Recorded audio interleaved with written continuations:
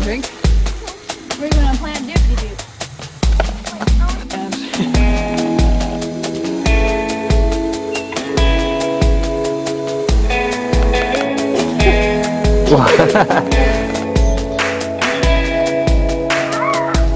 Okay. Like a crazy. Let's You're wet. Oh no.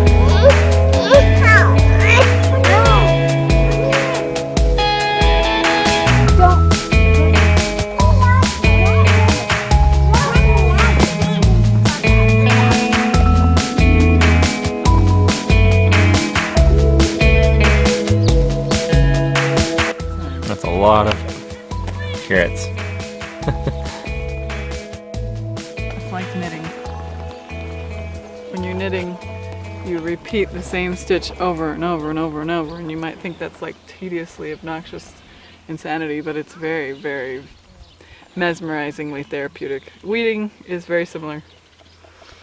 You just, Just find the pattern and it's like time to sit down and ponder. oh, and something we just found out. I read somewhere that you can eat pea shoots. So just now we tasted for the very first time a pea leaf. And I'm so excited. it tastes exactly like It's like you're eating peas. snap peas. And it's yummy. And so I'm like Does it taste as good with the stock too? Mm-hmm. Or is it a little bit more bitter? Really sweet. Just like a snap pea. So, yeah, I'm glad we planted so many because now I want to eat them because they're really good. This time of year is really fun when it's starting to get warm because these things just suddenly start to pop up and they grow so quickly in this warm weather. There's There something so satisfying about directly sowing in the garden.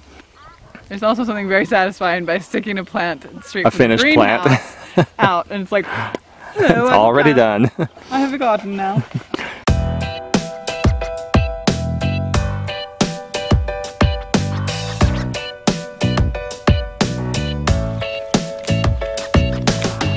So we are so happy to have the the really difficult part of gardening season behind us. Almost. Almost. We only have three things left to plant. At least three things that we really We keep changing our mind because we're we're getting lazy.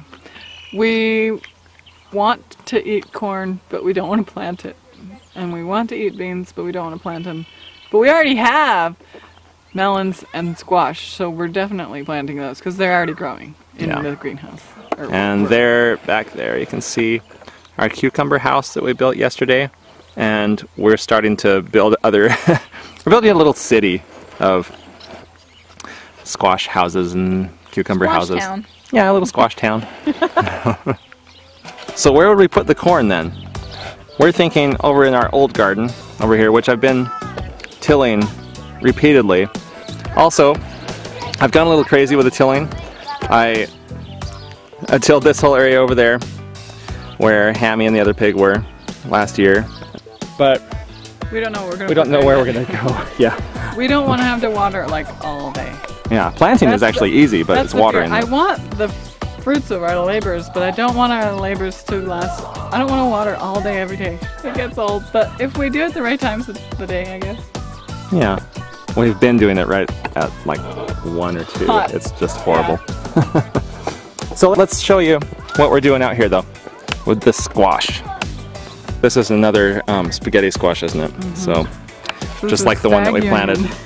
We planted it inside the the little cucumber house. Uh, when we first bought this house almost four years ago, we threw all of our jack-o'-lanterns out right here against the house. Um, come springtime, we had pumpkins growing.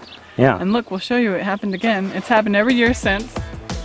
As long as we leave at least one squash out there, it's always been pumpkins, then it will just it'll just provide us with more in the next year. Right here is where all the squash grew. Now we ripped the roof out and all of this stuff hasn't been cleaned up yet. Here, here it is. Here's the one squash that survived, the pumpkin. Um, we're pretty sure that's a Cinderella pumpkin. I think it's called. we never threw any kind of special pumpkin. It's the carving pumpkins that are bright orange. I don't know how many years it was before we got the Cinderella, but we never threw a Cinderella pumpkin out there. So they cross pollinated with something. So they all crossed with each other and bred this new pumpkin that loves to be in the shade for half the day, which I always thought that pumpkins, of all the vegetables in the whole wide world, that you needed to get like a full day of sun. Well, it's right next to the house. It does not get a full day of the sun. If you can see, this is where we don't have a gutter and we never have. So this area always tends to be wet from the rain and then it stays wet and cool because Because it gets shade so quickly. Yeah. Like right after one o'clock, it yeah, starts getting shaded for the rest of the day. And these pumpkins do great. I mean, really, really, really great. One year we didn't water them once. How big were they that year? I don't remember, but Oh, we got got one that was you know 18 inches wide or kind of flat. And they're great for pies too. They're amazing. and uh, it has like a peachy flesh. So I guess we can't really mimic this situation over in the garden, but we can mimic the afternoon shade, and it certainly does well with that. So yeah, that's what we're thinking with our little uh, houses, our squash house, our little pumpkin neighborhood.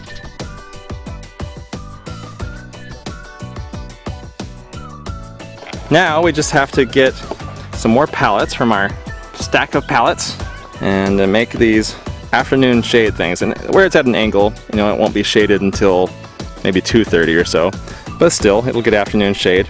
So are you planning on putting another squash house right here?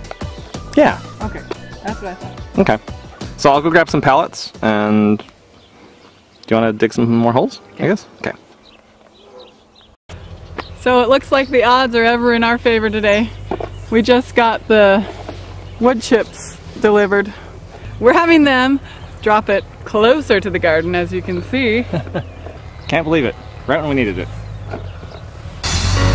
That's good. Oh wow. Feels like a blanket? Is it warm? Very warm. Oh wow, it is.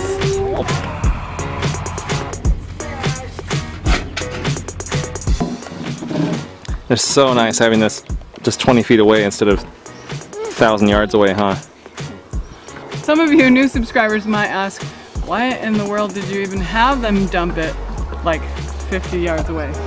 Oh, it's more than that, huh? So the reason we didn't have them dump it over right here next to the garden is because at the time that those trucks were dropping stuff off, this whole field was flooded. This was about two feet deep. There was a pond there until just last month. Flood family was there. Nice strong.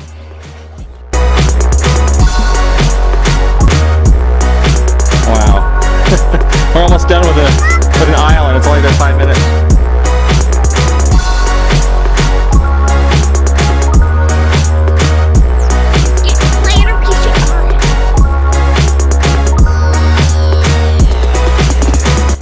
We're just about done with this first row and the sun is going down, so we're actually gonna just finish up a little bit and then call it quits for the day and go get ice cream.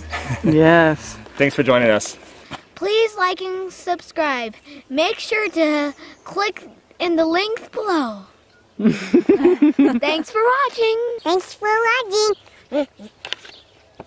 So if you guys are already subscribed, you can get our videos sent to your email if you just click the bell icon. And if you're not subscribed, subscribe.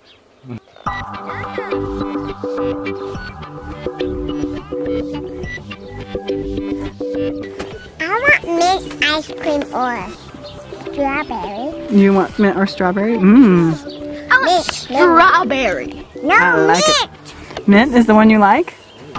Me too. Cause it tastes like chocolate mint. Mmm.